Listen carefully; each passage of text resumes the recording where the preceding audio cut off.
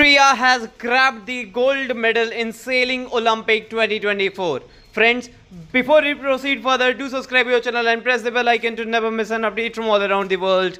Mahir and Vadlau have just grabbed the gold medal for the country in the Sailings Olympic 2024. Congratulations to the stars. That's all for the update today. Do subscribe your channel and press the bell icon to never miss an update from all around the world.